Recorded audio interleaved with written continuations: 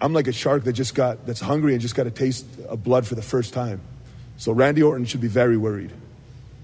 All right. Well, thank you so much for joining us, and congratulations on get, again becoming the number one contender for And the your WWE future? Championship. And your future, Future WWE champion yeah, and the American dream. in the American Dream. Thank you. Thank you so much, Jinder. Congratulations Thank you. again. I, I, I, I'll wait till he leaves now. Yeah. But I think we got to keep the Your thing where. Dusty. Of you know, course. Dusty You American can- Dream. But I understand his One hundred point. percent. It is Review of SmackDown. It's John Pollock, but Wai Ting is not to my right. Joining me, it is bartender Dave, who is making his debut on Review of SmackDown as he quietly makes his way onto all of the different shows. Oh, hooray! Thank you very much for having me on, John. This is a uh, this is an honor to be on this show. I, I really appreciate the opportunity. Well, uh, a couple of these into the future, Dave. I'm sure you will not be saying it, it is an honor. I, I think every guest reviewer has only so many 205 lives in them. Oh my God, yeah, and uh, like to tell you the truth, well, a lot of you know that I take handwritten notes, and I've got 15 pages. Holy handwritten moly. Yeah, my wrist is killing me, and not like back in high school, if you know what I mean.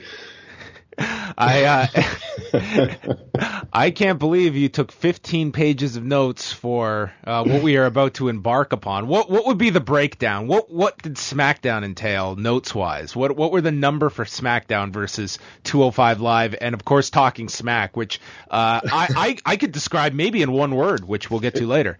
Yeah, I got uh, I got nine pages for SmackDown. I got uh, two pages for uh, Talking Smack, and four pages for uh, what was the other one? 205 Live. Man, you And should- you- 205 Live was the hardest thing to watch. I think. You should be writing 205 Live. Maybe I that. know, right?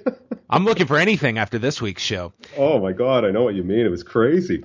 Now, I reached out to you to come Uh-huh. join me and then got your reply that you were in Mexico. Yes, yeah, yeah, uh, yeah. We were down in uh, just outside of uh, Playa del Carmen on, on the Yucatan Peninsula.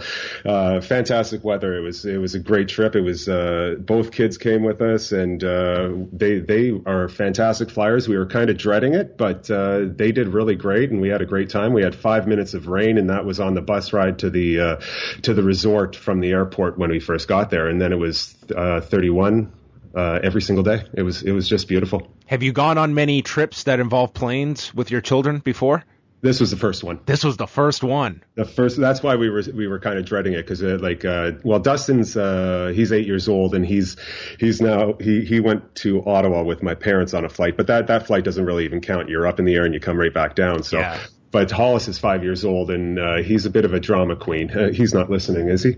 But uh, yeah, so uh, it, he they both did really well, and uh, all the other kids on the plane were absolute nightmares. And they they sat there watching their movies, playing their video games on the iPads, which uh, I I love those things. They are a godsend for any uh, parent or parent to be. Get an iPad; they're fantastic. They seem like the greatest investment possible for traveling for Oh. Yeah, children. Exactly. I, I downloaded a couple of, uh, what do you call it, uh, Royal Rumbles onto each of them and uh, a couple of movies onto each of them as well. I have never watched Sing so many times in my life, though. kind of sick of that movie. It, it was really good the first time I watched it, but now I, oh, God, enough already. You know, I wonder if the WWE network is going to start to incorporate that much how Netflix has done now, where you could download certain events and, and things off the network, because that's not there yet for. Yeah, I mean, the network just added Chromecast, which welcome to five years ago, WWE. Yeah, So, I mean, by this stretch, it'll be 2021 before we have uh, download capabilities from the network. Yeah, those uh, those uh, matches that I downloaded were uh, off of our Apple TV that I had bought in the years before the uh, uh, before the network came along.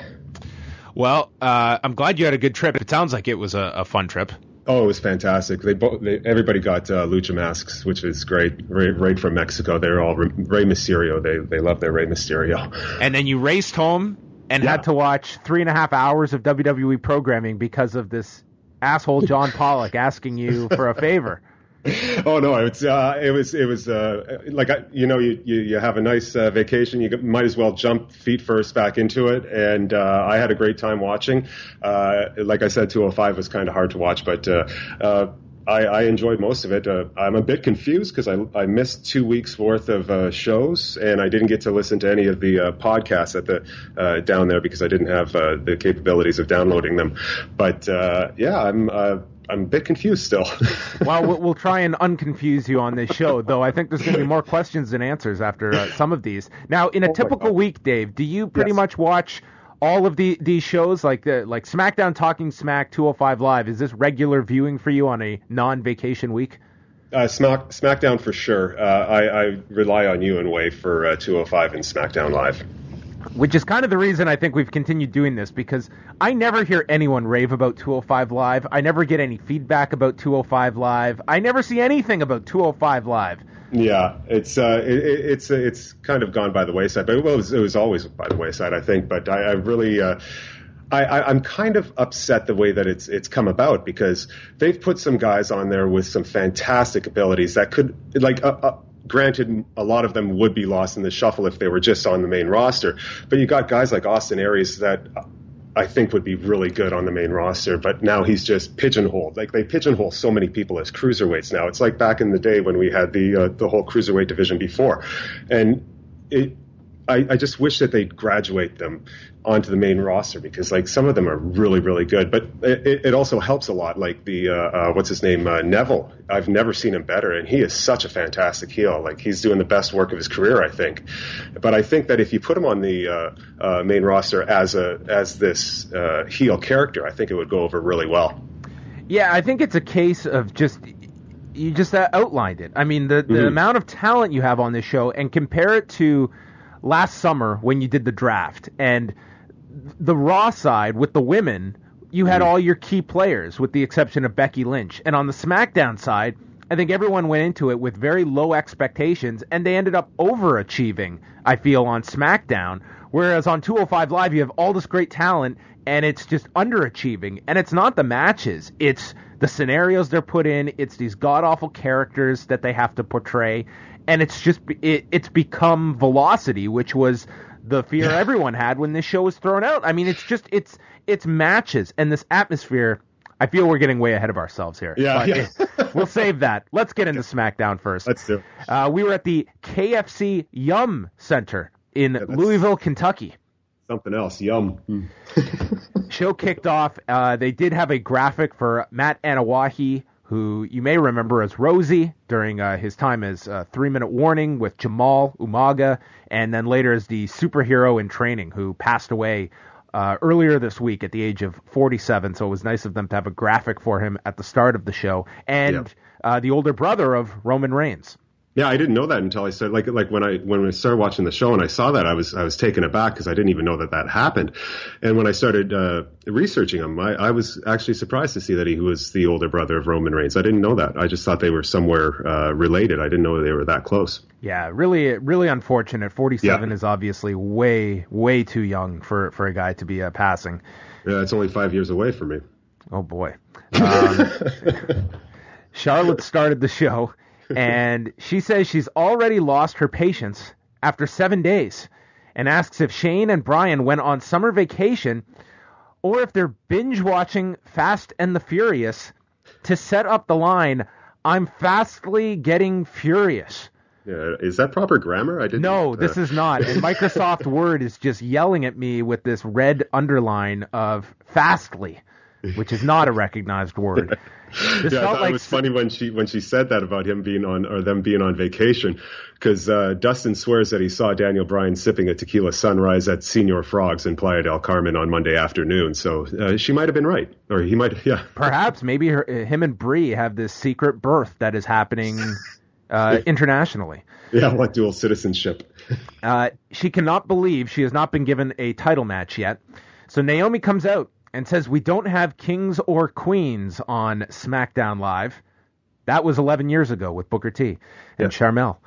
Uh, she says that champions are the ones that are here on SmackDown. She's been watching Charlotte for a long time, is not scared of her, and say and says we can do this now. As she attacks Charlotte with this forearm, sends her to the floor. They continue fighting. Shane McMahon enters, says they are going to fight tonight, but Charlotte has to earn that title shot, so it's non-title tonight. If she wins, she will get her title match next week.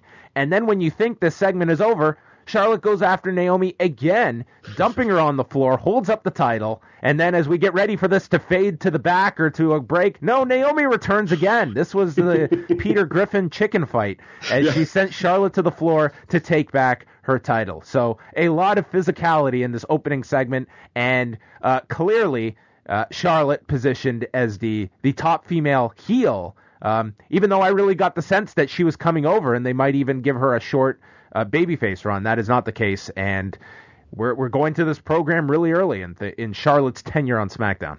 Yeah, for sure. And I'm I'm, I'm not a, fan, uh, a Naomi fan at all, but I found her uh, promo far more natural and heartfelt than uh, Charlotte's. I thought she did a really good job.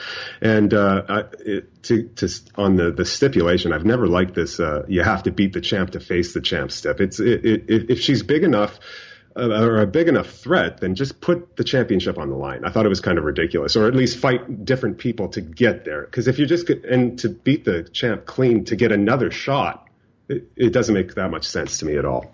What What are you not a fan of Naomi uh, on? What what, uh, you, what, doesn't do it for you? I, I still see, okay. Two things. I, I still see her as uh, one of the Funkadactyls. I think that kind of uh, ruined her, her career back then. And I, I, I think I might be the only one that finds her uh, entrance extremely annoying. Oh wow! Yeah, I really don't like it. Do you have a history of seizures or? Uh, yeah, a little bit. Epilepsy attacks. I just, I just don't think it. Uh, uh, like it's, it's really neat to watch, but to, to, over and over and over again, I just uh, find it a bit tiring.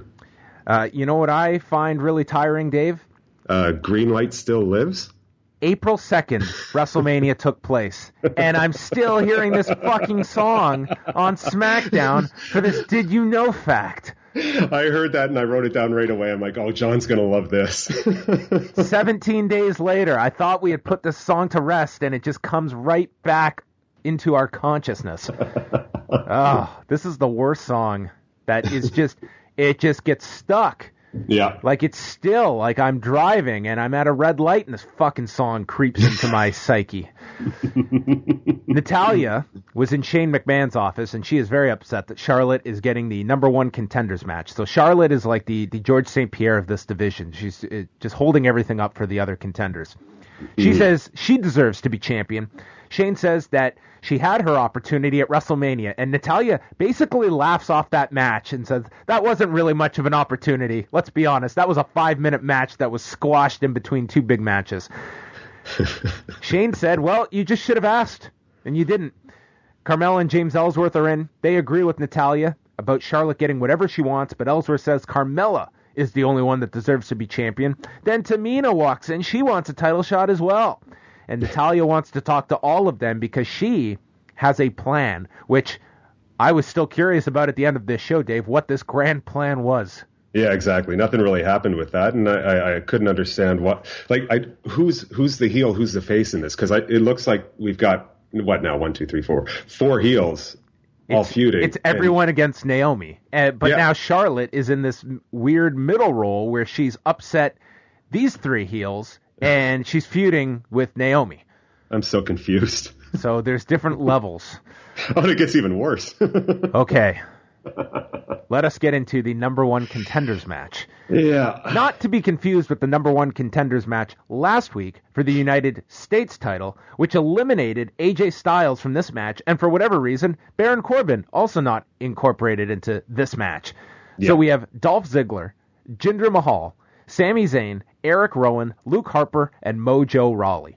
Now, on Monday, Dave, when this match was announced, okay, what was your thinking here? It's it's the post payback program for the WWE Championship, and these are your six options. What what was bartender Dave contemplating as an outcome? Uh, well, first of all, this is like Dolph Ziggler's what his 800th chance to to be a number one contender, and I, I couldn't. And kind of has a program as well already yeah, in place. Exactly, and you got Mahal who lost what every single match he had on Raw but, unde- but undefeated on SmackDown. yeah, so now he comes down to SmackDown. Way to make SmackDown look like a big show, you know. But and and Harper, who's in fantastic shape right now, he's the only one that I thought actually had a chance. Because like, uh, come on, Mojo Rawley and Eric Rowan? No, no. That, I thought Harper was the only one that had a chance, or maybe Sami Zayn. But it was just, it was weird. The first thing I thought was, where's Baron Corbin? Where's AJ Styles? Like those, those are the two names that you'd think should be up there. Like everybody knows that I'm a huge Baron Corbin fan, but like, why wouldn't, why wouldn't you put those two in? Like, I have to make a correction. Uh-oh. Jinder Mahal not undefeated on SmackDown because in his debut last week he lost to Mojo. oh. Lost clean to him in 243 with the got six- Gronkowski shit. Yeah, you got six of the most forgettable quote unquote superstars you'll find on the main roster. Like, where's Bo Dallas to make this a seven pack? Like, just think about that, okay? If you were going to go with this outcome, and last week Jinder is losing in under three minutes to Mojo Rawley, like this to me just feels like something that was just just a decision coming out of nowhere. Like Yeah. there was no even even throwing out the semblance of well he's now on a new brand and he's going to be uh, positioned differently. Uh, there was none of that last week. no, no. And like JBL said, someone's life is going to change forever by winning this match tonight. And I wholeheartedly disagreed because all this means is a title shot, loss, and back to obscurity. Well, let's. Uh, I'm not going to go through all of this here, but Yeah. uh, just some highlights. Uh, early on, uh, they went through a commercial break and came back and did this. Uh, this sequence of superplexes, one by Rawley to Ziggler, then Harper to Rowan off another turnbuckle, and then Zayn with a sunset flip power bomb to Jinder Mahal. This is where JBL mentioned that the winner will face Randy Orton at Backlash in Chicago. Uh, essentially, JBL of the belief that Bray Wyatt has no chance in this House of Horrors match. No, that that's not a title match. I'm saying it is, is it? but I'm just stating that he obviously feels that Orton's going to retain his title at, at Payback. Yeah, because it didn't seem they didn't mention if that was a title match, or at least I didn't catch it at all. I was I was kind of confused because they're they're on separate brands. Would yeah, anyway, I'm so That's a, confused. no, no, it's a, it's, it's a good point. I don't know if they've actually stated this fact yet. If it is indeed a title match, I think everyone assumes it's a title match. Yeah, uh, that's- because it's Bray's uh, rematch. yeah, you'd think. Well, that's one way out of things. I mean, it almost makes more sense to make this a non-title match because it it eliminates all the confusion that this match has going in of what happens if Bray wins, and by default, no one assumes Bray is winning this match because of all the problems it creates. Yeah. Shouldn't even be a title program, to be quite honest. Uh, Yeah. Zayn set up for a Helluva Kick into a Ziggler super kick. Harper then killed Ziggler with a lariat. Everyone gets sent to the floor. Harper hit a suicide dive to Jinder and then returned, hitting one to Zayn and Rawley together. Rowan delivered a spin kick and then power powerbombed Ziggler onto the floor, onto all four. We got a second commercial break comes back. Mahal pulls Harper to the floor, throws him into the steps, and then Mrs. Zayn runs into the post in the corner, which is just a spot they are doing to death. Just Yeah. on this show alone, the missing the guy and running into the post. Zayn hit a tope con hilo to Harper and then a split-legged moonsault to Rawley, an exploder to Jinder in the corner, and he calls for a Helluva Kick, but then the Bollywood boys appear on the floor in white suits, grabbing Zayn's feet, so he can't deliver the Helluva Kick. He turns around, distracted, and then gets hit with this Cobra clutch into a slam by Jinder Mahal, who pins Sami Zayn. A sequence of words I never thought I would repeat in 2017. And Jinder Mahal wins in 18 minutes and 38 seconds to go to Backlash. And what an appropriate name of a pay per view for Jinder Mahal to be headlining. Yeah, exactly. And like, how much heat does uh, Sami Zayn have backstage? Like to have have to be fed to a guy that virtually and virtually everyone else he's ever faced. Like, come on. I I, I know there has to be uh, like pin me pay pay me's to to make the universe go around, but to put Sami Zayn in that spot is is kind of insulting to me. Like he's got a fantastic theme song, fantastic move set, and the crowd loves him. How much longer before they like they sully him so much that no one else no one takes him seriously anymore? It really it, it- it's it, it's mind-boggling to me that they they do this. Like you've got so many other guys that you could pin, but for him to take it, it's it's it's getting tired already. it seems that uh, you look at these six too, and the way this match progressed, and if you were to list Dave from one to six, the the performances, who stood out, I think it's it was clear Jinder was a number six in this match. I mean, this Oh, is not sure. like this guy has he's rising to the occasion and is opening people's eyes. Hey, I am all for trying to rehab guys or present them, take them from one spot and, and slot them higher, but. Mm-hmm. Jinder Mahal has shown me nothing. I mean, he dropped Finn Balor on his head last week, and Oh, thankfully Finn Balor isn't out longer uh, from that concussion. Mm-hmm. But you just look at this. I mean, he was the least spectacular person in this show, and the idea that we are going to get a month long program and maybe longer with him and Randy Orton, which, my God, the chemistry these two had when Orton came out afterwards was just putting me to sleep. Yeah, it was like non-existent. Like like you Like said. there's there's no heat for this guy at all. Like you really have your work cut out for you trying to rehab Jinder, who may I add, they booked to lose in three minutes last week. Yeah. To Mojo Rawley. And I was Yeah. like, this match, if you were into this match, it wasn't because of Jinder Mahal. Until the finish, he was non existent in this match. Yeah, exactly. And like his promo uh, ability was was pretty good. Like he did a good job on the mic. Although I didn't like what he said, I thought it was a rehash of that we've heard time and time again throughout uh, the the years prior. But like instead of making a statement to the champion, Jinder chooses to stand there like a schmuck. Then and then I guess he just leaves as soon as Bray comes on the Titantron. Like he does nothing. It was it was really bad the way he was positioned after this because Renee Yeah. is interviewing him. He did get a lot of boos. He mm-hmm. calls himself the Maharaja and says he doesn't fit the stereotype of the all American and asks if it's because of his family's wealth, having higher education, or speaking two languages, and they don't accept diversity, and he will be the next WWE champion. So Randy comes out, congratulates Mahal, but says his prize will not be the title. And just like that, pivots and says he doesn't know what a House of Horrors match is, but if it's like the last house he was brought to, he's going to burn Bray down to the ground. And then Bray's on the screen for a Bray Wyatt promo with highlights of Orton burning down the compound and says he may walk into the House of Horrors as the man, but he promises he will never walk out. Never. Yeah.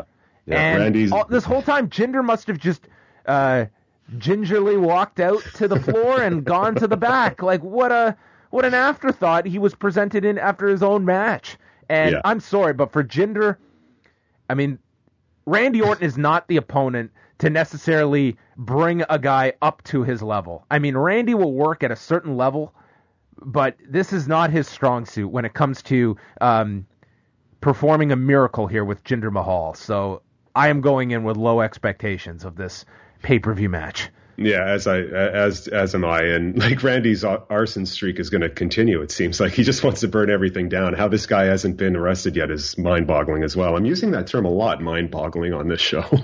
Well, there was a lot of it. Yeah. There was a New Day spot with a checkoff list of all the things they are bringing to SmackDown, and they are coming soon.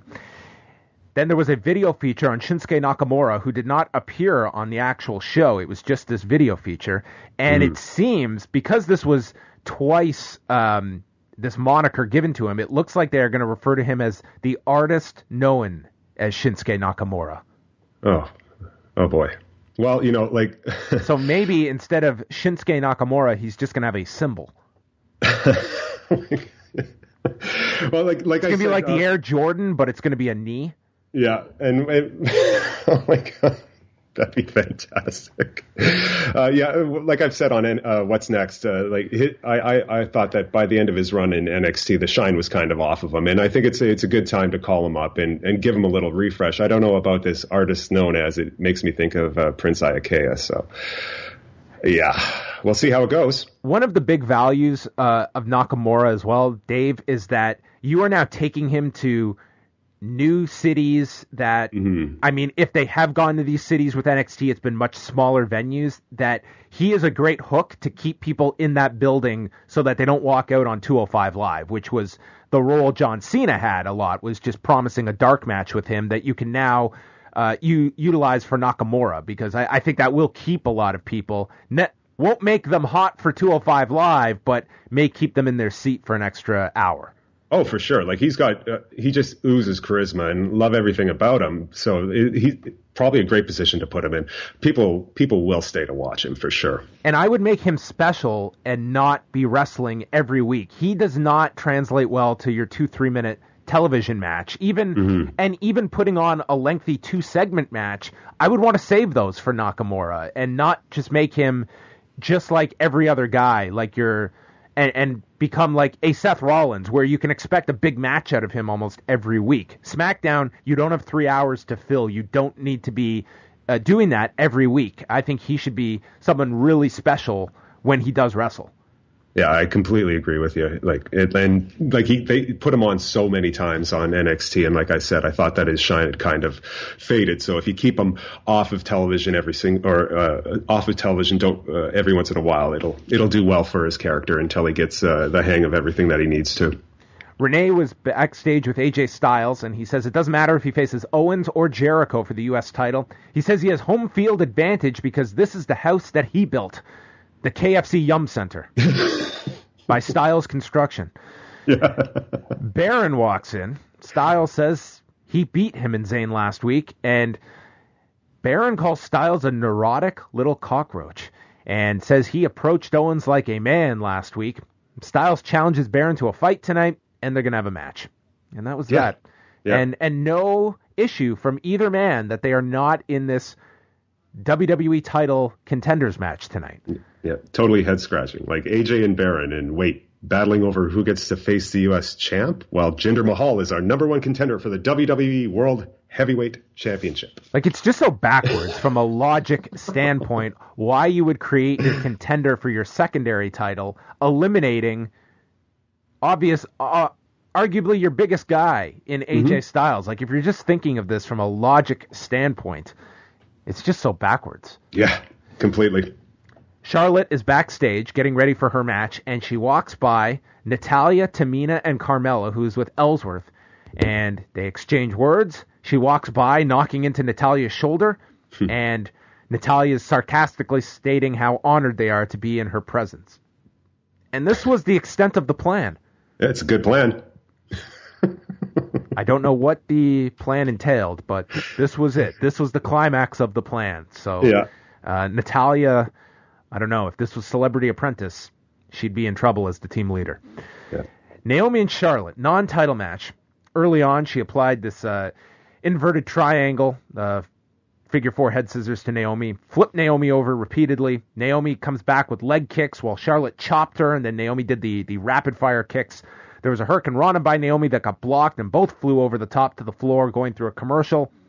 Then Charlotte missed a knee drop, leaps off the ropes with a high kick, and then there's repeated strikes. Naomi hits a hurricanrana. And then Naomi went for this wheelbarrow into a stunner, but didn't get any hold of Charlotte's head. So this was a phantom stunner that Charlotte uh, sold anyway.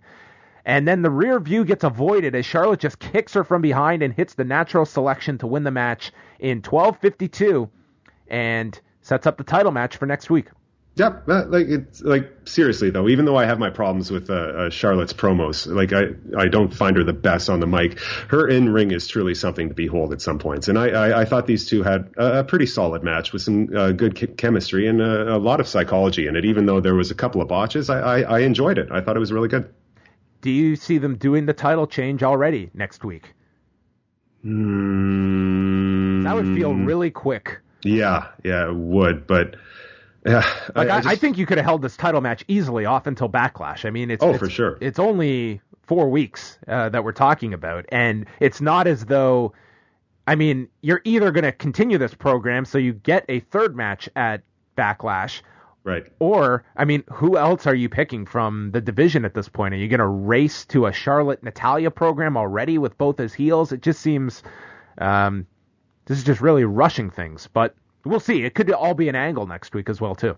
Yeah, now, now, not to uh, sound uh, uh, stupid or not, but uh, there's a show this Sunday, right? No, Or is it next Sunday? It's a week Sunday is payback. And that's That's the, Raw. show. That's the Raw pay per view with SmackDown confused. champions defending. okay. Yeah, All right. You, you do need a scorecard, Dave. Yeah, I know, right? It's mind boggling. Next was the Colóns, no longer the Shining Stars, Primo and Epico, taking on American Alpha, which uh, let us let us uh, not worry about the elimination of the Shining Stars moniker. Yeah, but and and they didn't even get an entrance here, so right away I'm thinking, okay, so Well, they're not stars anymore. This Yeah. was made very clear.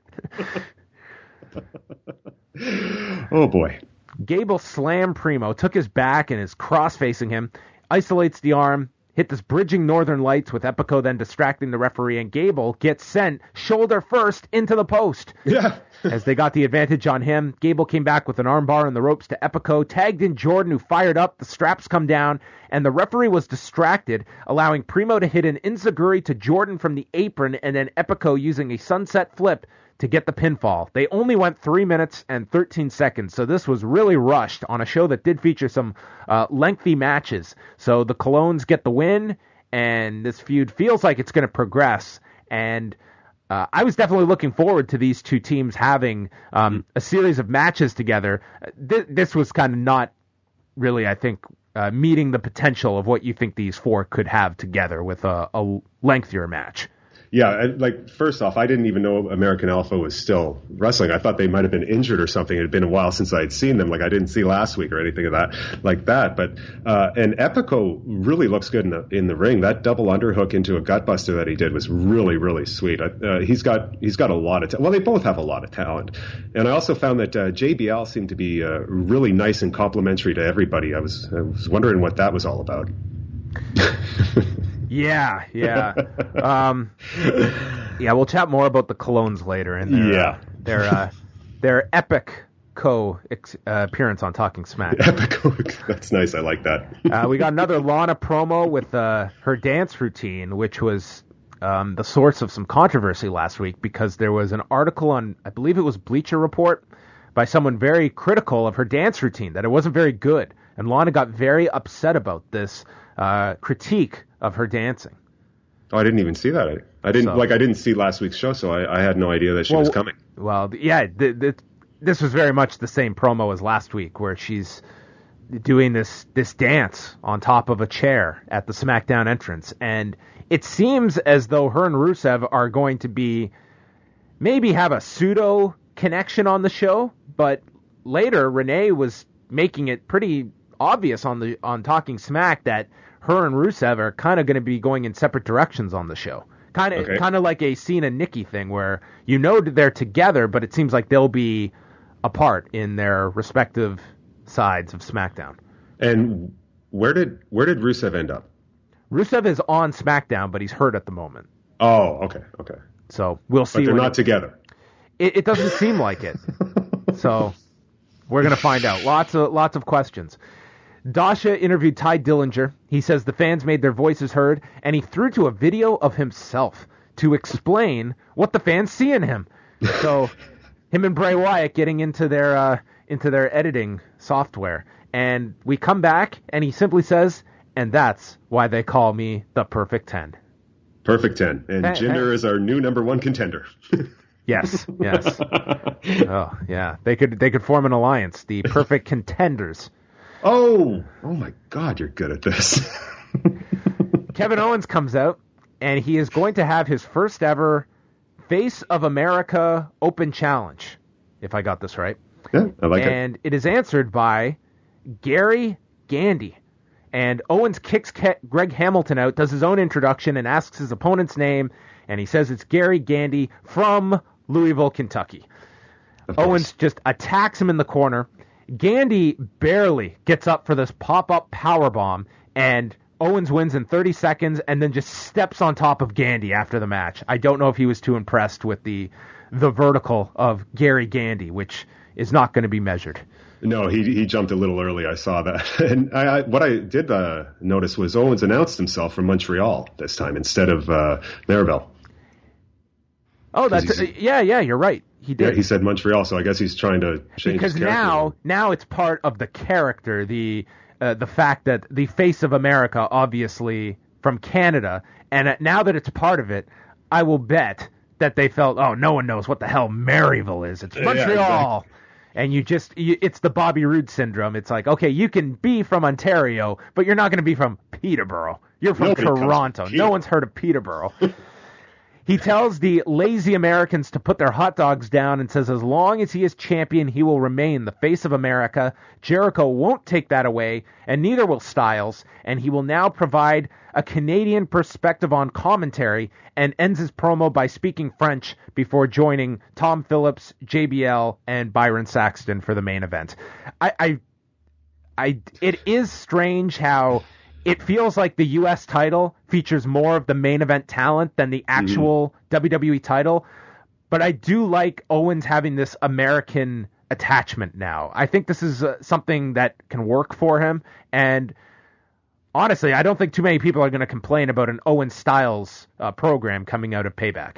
Yeah, oh, oh, for sure. And I think it's just like like the shock of the Jinder Mahal thing is uh, going to be it'll it'll go away as soon as we get this going with the Kevin Owens and uh, uh, AJ Styles because Like realistically, David, if these are the top two programs, and you really want to put a lot of heat on the U.S. title, and just for structuring a show, what's the harm in putting Owens and Styles in the main event position at, at Backlash in Chicago? Can you imagine I- what the heat's going to be like for that match, as opposed to Orton and Jinder fucking Mahal closing that show and having to follow Owens and Styles? That's insanity. yeah, exactly. You, you, I, I bet you it would even go on as um, as the headliner, Owens versus AJ. Like you'd be It should. silly it not should. to. Like Yeah, because salivating to see that match. That'll be fantastic. Aries had one of the uh, classic 205 Live promos. I want someone to put a compilation of these 205 Live promos together and put them up on YouTube together, one after the other, just to hit people over the head with how dull these are. Oh, So- you don't like them? Uh, I am not a fan of these. And you know what? It's not even the length of them. And I don't know why I connected the two, but over the weekend, uh, right before the Rizin event in Japan, Mauro Ranallo put up this video in his hotel room, and he's got his arms in the air, and he did like the exact length of one of these 205 Live spots plugging Rizin, and it was like only a hundred thousand times better than these ones come off. So it's not an excuse of well, you only have thirty seconds. Go back, to, go back to some of those Royal Rumble or Survivor Series promos that were thirty seconds, and the characters that made those work. Like Yeah, these. 30 seconds is not it's not great but you're not handcuffed so that they have to be this goddamn dull and referring to TJ Perkins as Teddy Joystick and sending his smirk into section 309 I laughed out loud at that. I thought it was great. I love I love Austin Aries though. well he's trying his best uh, main event saw Baron Corbin take on AJ Styles Corbin dropped Styles on the edge of the apron, was working on his back. They went through a commercial. Corbin slid to the floor, returned, and then ran in to the post with his shoulder. Didn't see that coming. Styles hit the Pele kick. Corbin was seated and Styles ran at him with a forearm. Styles then rolled into a calf crusher, but Corbin made it to the rope. Corbin then hit a deep six for a two count, and then Styles hit this sliding knee off of the apron to Corbin on the floor. Corbin then back body dropped Styles onto Kevin Owens seated at the commentary position. And they cut to this fan who is having an out of body experience from this back body drop. Styles then blocked the end of Days on the floor, leaped off the apron, sending Corbin, quote, into the WWE universe, and then Styles, with the uh, the WCW NWO World Tour style of victory for John Pollock in 1998, won by countout in 13 minutes and 4 seconds. So- Yeah, did you notice that the ref uh, rang the bell before he actually counted ten? Oh, I didn't notice that. Yeah, he got to nine, and then AJ jumped in and he just rang the bell. like so that's not an actual win. Maybe he's going to be permanently replaced by Akira Tozawa after last week, which you probably didn't see. But No, it, I didn't. It was Akira Tozawa ringing the bell under uh, a disguise. Oh. But that was, that was SmackDown. Um, certainly, the most talked about thing coming out of this is Jinder Mahal, which I think we have shared our thoughts on. But uh, start to finish, Dave, your uh, overall impressions of SmackDown, other than saying mind-boggling. Uh, confusing? Okay, no, it that- was, I enjoyed the show, you know, and uh, that that main event I really liked. AJ made Corbin look like a monster. He did a really good job on that, and uh, the deep six he gave him was just phenomenal. Like it was really, really good. Uh, overall, I, I liked the show. It was it, it wasn't that bad. Now, you purchased stock on Baron Corbin when he was a penny stock. Now, oh, did I ever? Now you haven't you haven't cashed in that stock yet. You are holding firm on the Baron Corbin brand. Without a doubt, I am. I think it's uh, it's going even higher and higher. Like he's he's he's catching fire, and I, I like I like you said, I called it way back in the NXT days. So I, I love him. think he's great. Do you feel it would have been too early to have gone with him and Randy Orton as a program? Maybe. Maybe. Like I, I, like the slow build that they're doing with him, and like you, you watch social media and uh, get people tweeting at me all the all the time saying, "Oh, you were right. I'm on board with him. I really like him. He's getting better and better." I think uh, you, you give it time, and he'll he'll take over. Like it would be a bit too early to go with that. I think. I'm not quite there with Baron Corbin, but looking at this show and where people are slotted, um, mm-hmm. what do you see for Baron Corbin? Because he's kind of an odd man out now, and much as you may not want to hear this, I feel Sami Zayn could be on Baron Corbin duty next.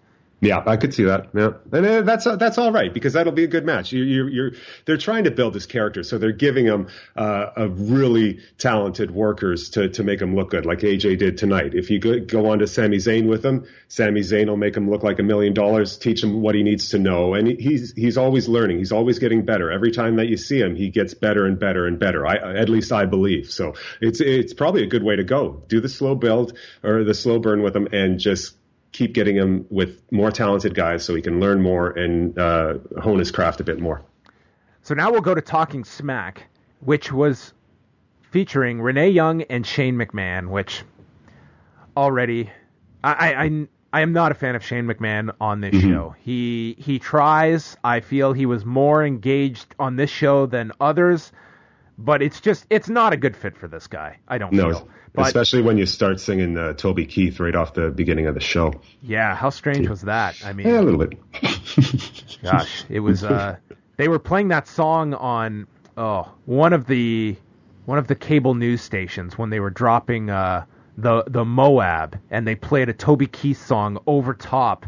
It was um, uh, Geraldo was being interviewed, and they they showed a highlight with a Toby Keith song over top. Um, like a bomb dropping, and it was just the most bizarre thing. Um, anyway, so yeah, it's it's it's an appropriate tie-in because I, I, thought this show bombed overall. Uh, yeah. Uh, Renee showed off a Louisville Slugger bat that she reser- uh, received earlier today. I thought she was going to say she was uh, presented this by Jim Cornette, which he may have even been at the show uh, on uh, Tuesday night potentially. Mm. Uh, Bryan and Brie apparently are very close to having their baby, and that's why Brian was not here tonight. Mm-hmm. Jinder Mahal was on first. He says he will be the next heavyweight champion. He did it all by himself. Renee brought up the Bollywood boys, and Jinder no sold them. Yes. He said it was horrible that he was booed. He will become the new American Dream. He's yeah. really pushing this as his new moniker, and says that he saw fear in Orton's eyes tonight, which I would be too if I knew I had to do 20 minutes with this guy in Chicago. and says that he is a shark that got his first taste of blood on Tuesday. And Shane waits for him to leave before totally dismissing the idea of calling this guy the American Dream out of respect to Dusty. And wow. really felt like this guy working his own angle on this show. Um, I, I, know you said you were kind of impressed with his talking after the match. Mm-hmm. Here on this setting, he still feels very mechanical, which is a guy is not going to become a good promo overnight, but I, I, think he has a ways to go because he still feels like I'm playing a heel, and these are the words that I should be associated with when being a heel. Yeah, that's true. Like I, I, agree with you on that. Like he he wasn't terrible or horrible, but he, he did show some some of that, and I, that's like the reason I like talking smack is really it, it gives a need a needed platform for these superstars to grow, and and they can try new things and different things. Although, it, like like you said, I think Shane might be giving him a talking to after that about the new American Dream. I don't know if he knew that that was coming up. Maybe maybe it's a new idea they have where Canadian heels on SmackDown have to have American references in their new right. uh, uh, nicknames. Yeah, he's from Calgary, right? He's from Calgary. Yeah, he's yeah. another Canadian. So, um, which which is, I guess, a a uh, a populous enough of a city that it will be acknowledged. Like maybe he's from Jasper originally, but uh, yeah. just becomes Calgary. Uh, anyway, uh, but to your point, I mean, with this show featured all raw talent that had been uh, moved over in the switch, and, and mm-hmm. I think you saw these performers. I don't know if any of these performers even watched this show, understood the format, or more importantly, understood kind of the platform you have on Talking Smack. Where no, it's not. Uh, it's not two and a half million viewers on USA, but it's I kind of equate it to like the last sketch you see on SNL where that's where they'll throw something against the wall and Yeah. maybe it bombs, maybe it's just letting people take a risk, but maybe it turns into Wayne's World. And it's talking smack is kind of that last segment of SNL where these people that would never get these opportunities on SmackDown can go out and kind of craft their characters. They can get comfortable speaking it as their character without the constraints of a script.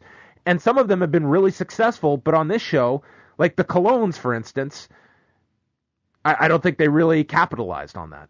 Yeah, no, I agree with you. Like, like even with Jinder trying the New American Dream and that, so he he did try something, but like the Colóns came out and just didn't do anything. They just Like they brought up the fact that they were tag champions five years ago and beat Yeah. the Usos in a three way match at WrestleMania 28, which, like Shane and Renee had no response to this. They were like, okay. I didn't uh, even know that happened. Primo says, uh, do you know who the third team was? Take, Uh, a, take a wild guess. I don't think you'll guess it. Mm, no. I, was- Tyson Kidd and Justin Gabriel. oh my god. Which think, a of, long think of them ago. think of them as a tag team today. I mean that that would be a hell of a team in today's tag environment. But Yeah. in 2012, I mean the tag. I mean th- this was a match on the pre-show at that year's WrestleMania to give you an idea. But I mean maybe that's where they would be today too. Primo Were they- notes Were they the Los Matadores back then? they were. I think they were. Okay. I yeah, think 'cause they they, were. didn't talk. They they were talking about don't forget about this, don't forget about that, and like, but they totally forgot about that. Uh, mo- most of their history is forgettable, uh, Yeah. given the gimmicks they've been throwing. Primo just notes they aren't politically correct, which was another non sequitur here. I mean, it had no. I mean, what is non-political about you, or not politically correct from Primo? I mean, Yeah. these outspoken shining stars. Um, anyway, I Epico. was I was amazed at how, how identical they look since uh, Epico lost the cornrows he used to have. Like I, I they're, they're cousins, right? Uh, these two are cousins. Yes. Yeah, I, I can't believe how, how much they look alike. It's just amazing. Epico puts over his father Carlos and Carlito and says that the McMahon and Colón names carry a lot of weight. Um, Epico, wait, I'm trying to think now. Epico would be the nephew of Carlos, I believe, because Primo. Oh, Primo's Primo's Carlito's brother, right? Yes, yes. So there, Epico Is Carlito still wrestling? be. He still does. Um, yeah, he still does does matches here and there. Oh, okay. I mean, he's always stated, you know, if they made him an attractive offer, he would come back. Did the Hall of Fame induction a few years ago for Carlos. Oh, that's right. Yeah, all three of them, right? Yeah. They they were like severely cut on time and Carlito was hilarious during that speech. I mean, he did not give a fuck during that speech. It was really funny. they talk about Lana's promos and Shane just says it's exciting. It's an opportunity. And then Renee notes it will be interesting to see her apart from Rusev. So that leads me to believe they won't be attached like they were on Raw. And then Shane really loved the word opportunity on this show. Oh, that that's his go-to. Yeah. Charlotte is the final guest, and I was pretty disappointed here. Charlotte just seemed like a deer in the headlights on this show. Like she just seemed like so worried about what she was going to say. Yeah, there was that one part where she just stared. Uh, she got the question, she an just awkward stared stare before she lifted the microphone to speak. It was almost like this mechanical process we were watching in real time of her forming thoughts and answers. And she said she got the title shot because she had the guts to ask. Now she has a title match. She repeated that I've earned it. I've earned it. She's the dirtiest player in the game. She got her catchphrase in. And then ended it. Like this just felt and and I think this was one of the shorter talking smacks because when Renee senses an interview is not going anywhere, she is not shy about just pulling the plug and Yeah. ending things. I, to be honest, Dave, I thought this was one of the worst talking smacks I've watched just because it was a lot of new talent that hasn't had this opportunity, and I think most of them all whiffed on it. And I found, Yeah. and coupled with the fact you didn't have Daniel Bryan there, who I think really can help these kinds of performers that are kind of lost out there. Just imagine if he was on this show, he would have been fantastic, just Oh. tearing these guys up. And like you think about it, the guys that we had, okay, so we had Jinder Mahal, we had the Colóns, and we had uh, Charlotte, and I found that uh, Charlotte was the least impressive out of the three. I agree. I agree. I- of all three, and believe me, that's not high praise given the first two, but Yeah. I definitely think Charlotte was the the worst here. yeah. Yeah, this. But it was a quick show, so that was all right. Uh, after 205 Live, the quicker ones are not. Well, it becomes more of a chore at the end, but nonetheless, Yeah. shorter was better. All right, so we go to the main event of the evening 205 Live. this was not a short show. This went Oh. pretty pretty close to an hour. Yeah. This was really long. Uh, it started off with Akira Tozawa against Tony Nese.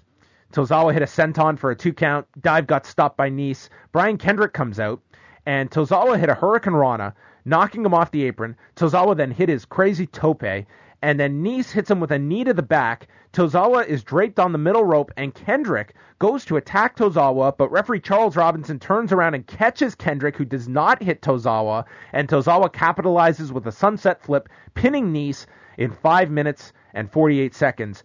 Afterwards, Kendrick apologizes to Nese, turns his back, and Nese attacks him from behind.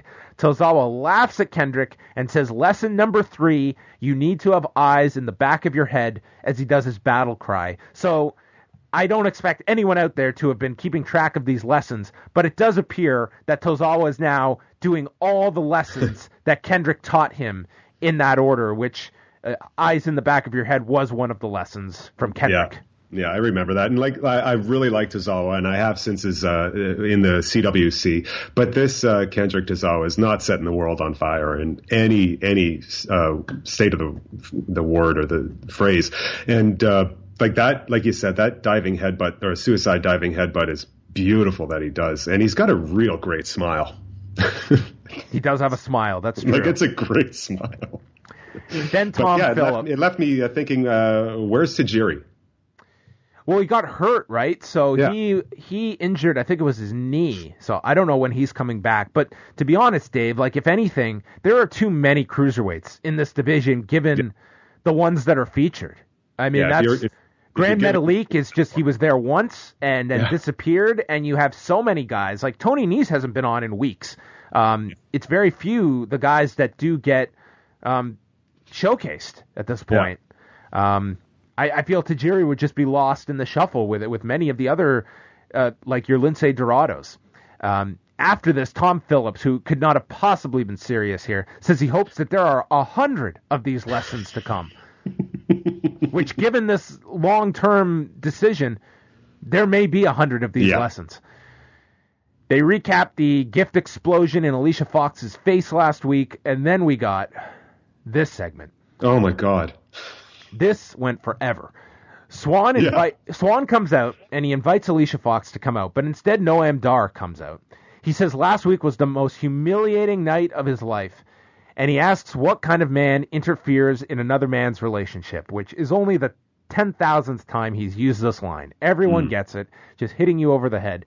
He calls Swann a rat, and then Alicia comes out, says that she thought Dar was the future face of 205 Live when she first saw him, but that he is immature, his cologne stinks, and he thinks he can cook, but not in every room.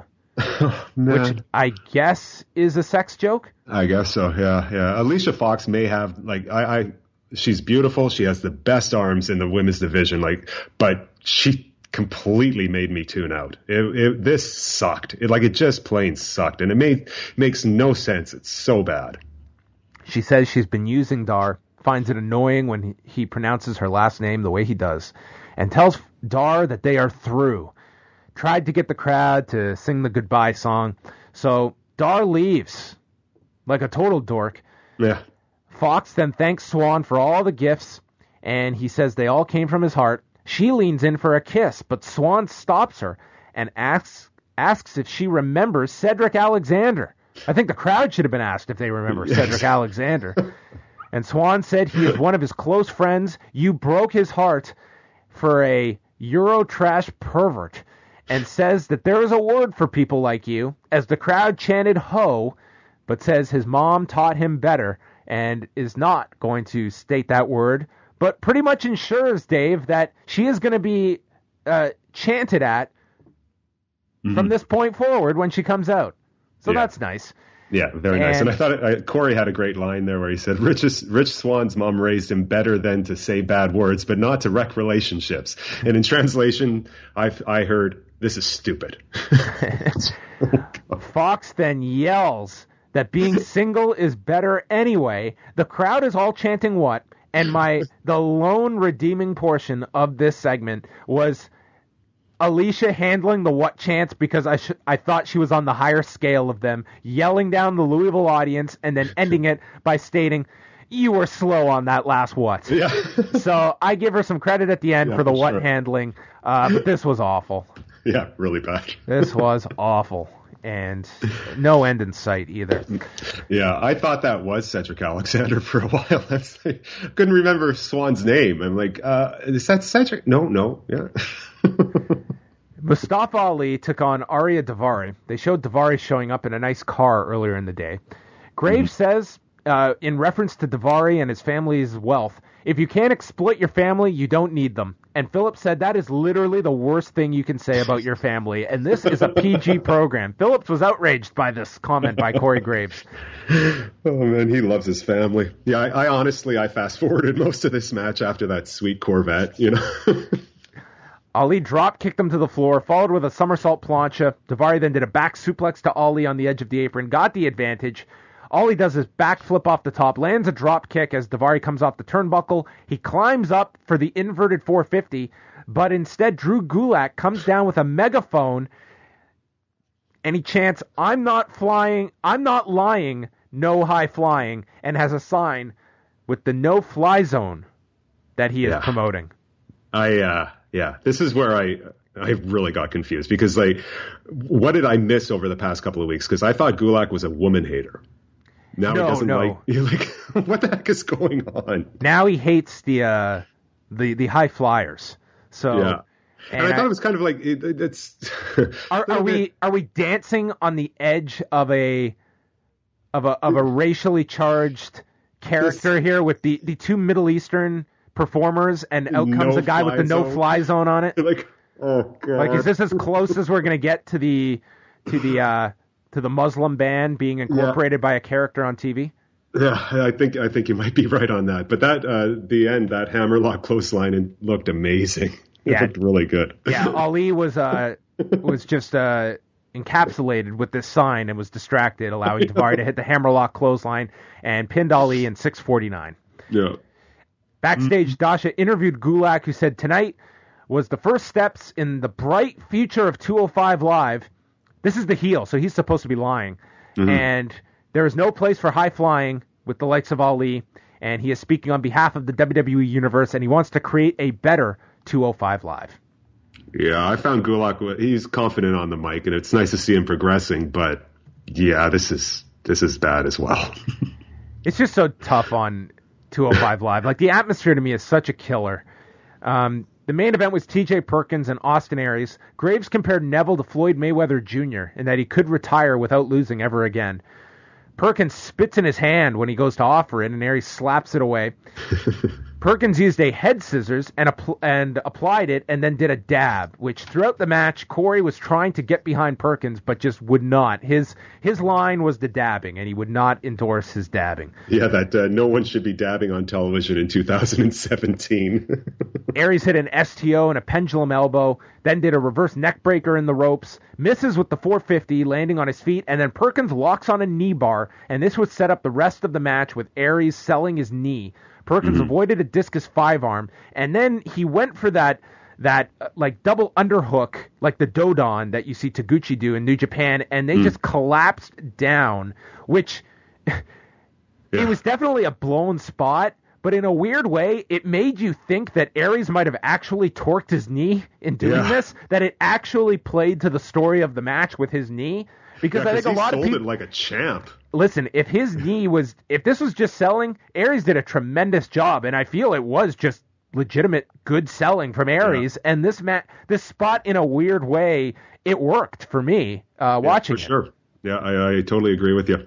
Um, he hit a running forearm in the corner, hit a 450 splash, but Perkins gets his foot on the bottom rope, then applies the last chancery, gets his foot on the rope. Aries continues to sell the knee, struggles to get Perkins back into the ring like he had to deadlift him off the floor, and Aries stops Perkins from hit, hitting the detonation kick, hops off the shoulders, hits the discus forearm, and finally wins at 11:41. A really good match between these 2 In particular, Aries and his selling of the knee. Uh, it, it's just the crowd heat. They just could not care during this this show. Yeah, that's true. And like I had zero interest in Austin Aries when he first debuted in NXT, but I swear he may be one of my favorite guys on any roster right now. And I give it give all the credit to his love for potassium.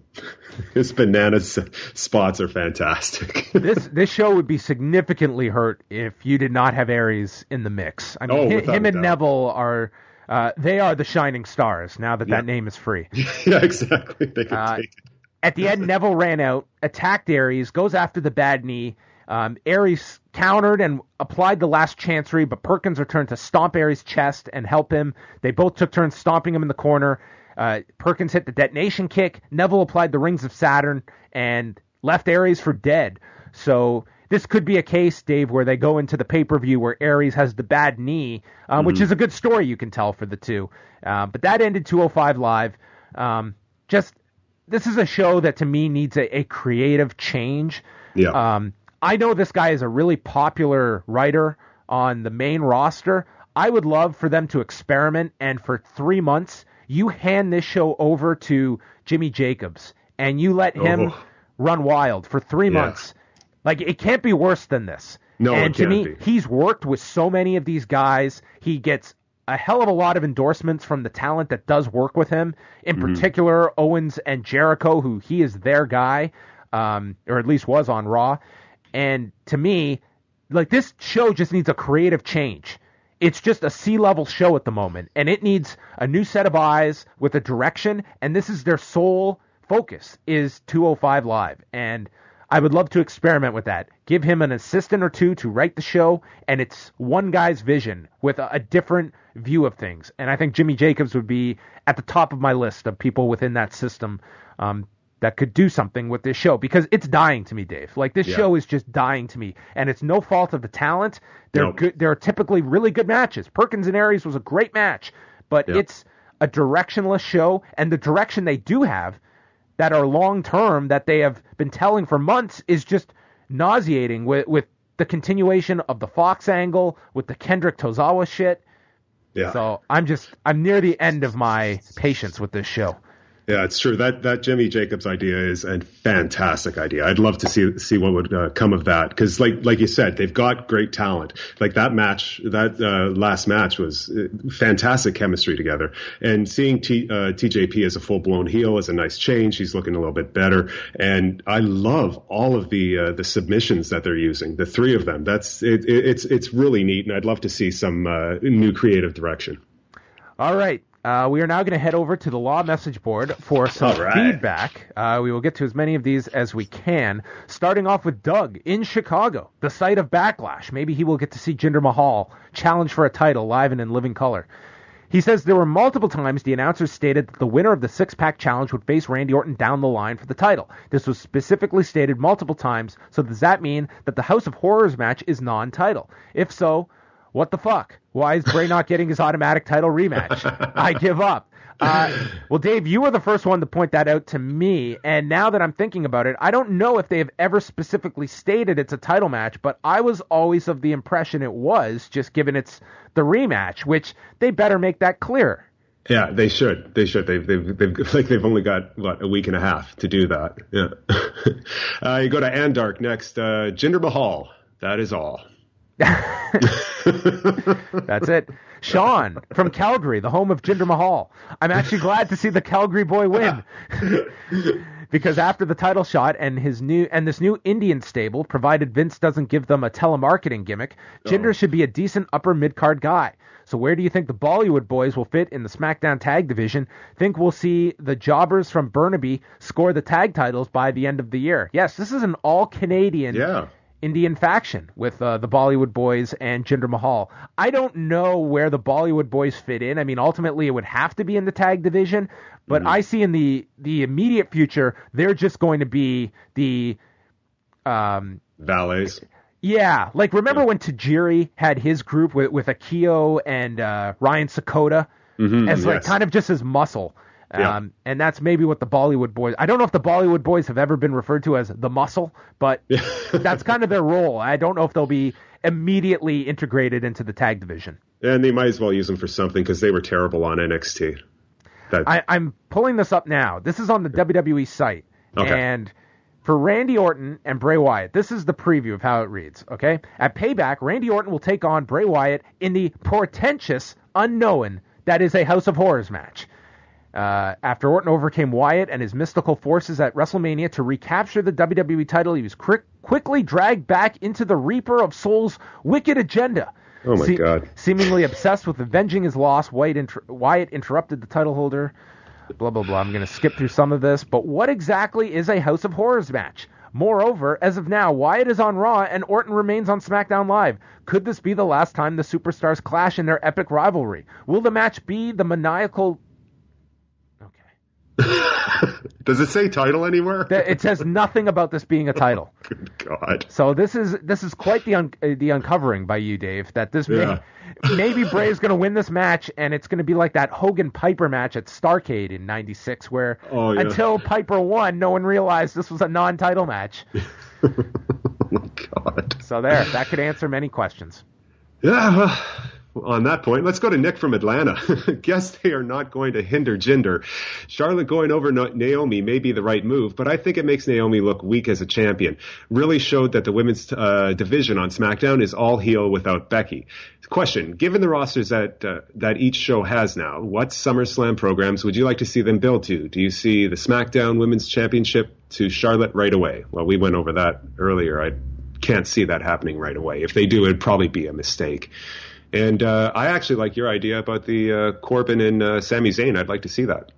Yeah, that could be where they go for for Backlash. And then in terms of SummerSlam, I guess it depends when Cena is coming back because he would be figured in um, for something big for SummerSlam. I I love the. Uh, I know everyone wants to see Styles and Nakamura, and I think long term you can get there. I, I really want to see. Cena Nakamura at the at the Barclays Center with that crowd, I think would be Yeah. aw- awesome. Just no, that'd tremendous. be great.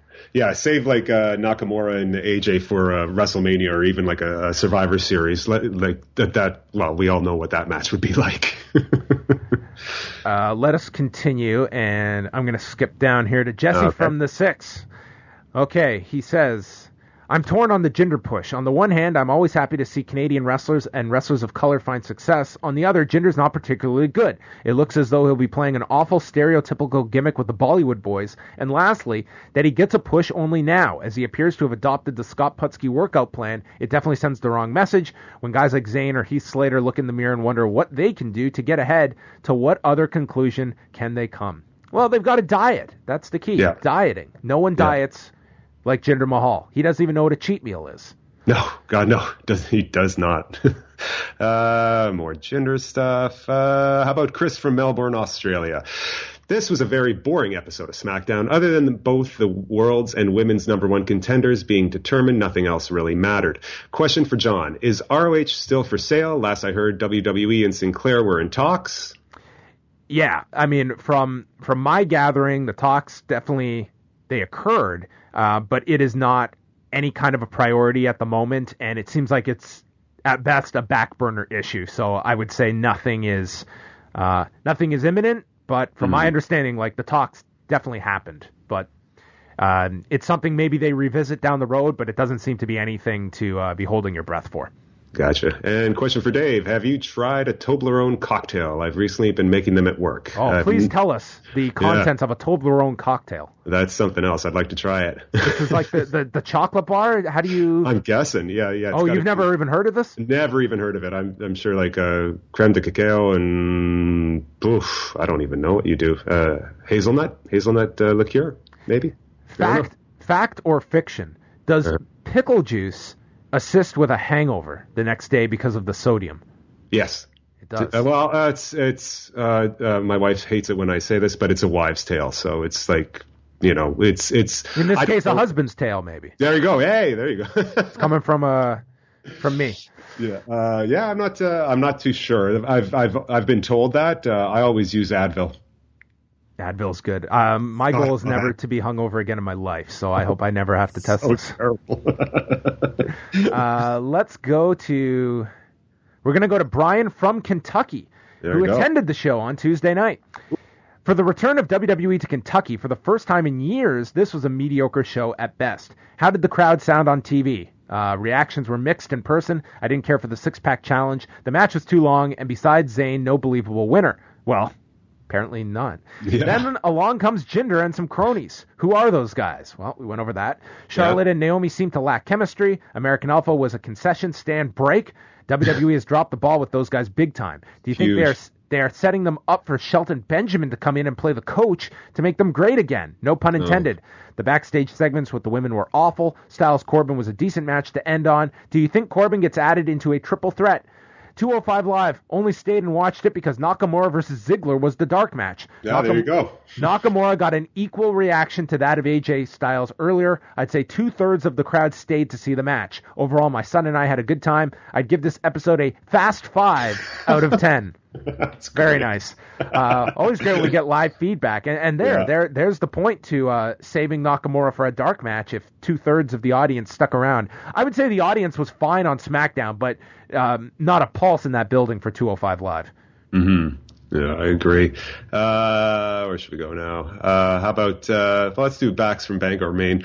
My God, SmackDown Live truly is the land of opportunity. Land of opportunity. I was certain that Mahal was go- going to spend his time ran jobbing to the likes of Baron Corbin, Nakamura, Styles, etc., and then he becomes number one freaking the number freaking one contender to the WWE Championship.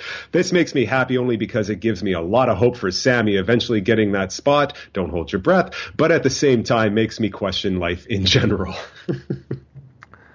Uh, we'll do two more here. Yeah, okay. Uh, I'm going to skip down to Brian from Louisville, Kentucky, who was also at the show, who noted this was the first televised WWE show in Kentucky since the Backlash event, where the McMahons took on Shawn Michaels and God. Oh, God. Fandango and Tyler Breeze beat the Ascension in a dark match before the show. Breezango played faces for the match. Thinking a face turn might be coming due due to the lack of babyface teams on SmackDown, I enjoyed the six pack challenge even with the surprise ending. The rest of the card was okay. I stayed for 205 Live just for the Nakamura dark match with Ziggler. 205 Live was hard to sit through, the crowd was dead, and the ushers spent most of the show moving people to fill the camera side. The Alicia Fox segment was brutal. I don't think I would sit through 205 Live again if they make a return. My MVP for the night had to be Ziggler. He put on a good performance in the six pack challenge and comes out later and gives us a good match with Nakamura. Yeah, I'd love to see that match. That'd probably be a good one. Uh, yeah. Uh, Why don't we end with this one from Germany? Okay, Garrett from Germany. I doubt that ge- uh, Jinder won't be hindered anymore. I honestly cannot see them going through with that. Zayn will most likely get a rematch because of the interference and then go on to face Orton. My overall impression on SmackDown wasn't positive this week. The whole show felt kind of awkward besides AJ Styles and Kevin Owens. So I, well, they kept on stating that that was a non-disqualification match, so I can't see them getting him a rematch just because of that. Right. Yeah, but yeah. There you have it. Uh, well, thank you for all your feedback, including those that uh, were there at the KFC Yum Center. Uh, I don't know if it was a yummy edition of SmackDown and 205 Live, but nonetheless, um, we do have some programs in place for better or worse going into Backlash because I think both spectrums have been uh, filled as we have our two title programs. That's going to wrap up the show, but a big thank you to bartender Dave for filling in for a vacationing Wai Ting who is in Chicago as we speak for a, a much needed vacation. Oh, my, thanks all. Uh, uh, thank you to uh, thank you, John, so much for giving me the opportunity. I had a really good time doing it, and uh, anything you need, I'm always here. And if you want to come see me, I'm at 2455 Bloor Street West. You can follow us at Bryden's on Bloor, and follow me at Bartender Dave 74. And maybe if you vacation in Toronto, you can go to Bryden's, and by then you could order a Toblerone cocktail. I'm gonna uh, research it. I'll I'll make sure that it is on the menu. Well, that will bring this show to a close. Uh, we will be back later this week on Thursday. New edition of What's Next. We've also got the MMA report coming out where I will have uh, Cub Swanson and Stephen Wonderboy Thompson on the show. And then Friday on Review Away, uh, Toronto based comedian Dylan Gott, who you may have heard on the Art of Wrestling podcast with Colt Cabana. He's going to be joining me as we review Starcade 88 True Grit. Grit spelt with two T's, headlined by Ric Flair and Lex Luger, and the final match for Dusty Rhodes before he took off the first time uh, from the NWA right after the purchase by uh, by Turner. So lots to discuss from the NWA to end off their year of 1988 is coming up on Review Away. And then Sunday night on The Law, we will be joined by Pat LaPrade, who is not only uh, recently coming out with a book on the history of women's wrestling, he's also been hired as a consultant on the new Andre the Giant documentary that HBO and the WWE are producing. So lots to chat with Pat about, and you can get all the shows up at liveaudiowrestling.com. You can subscribe on iTunes, follow Dave at bartender Dave 74 at Law Radio, and we'll chat with you later this week.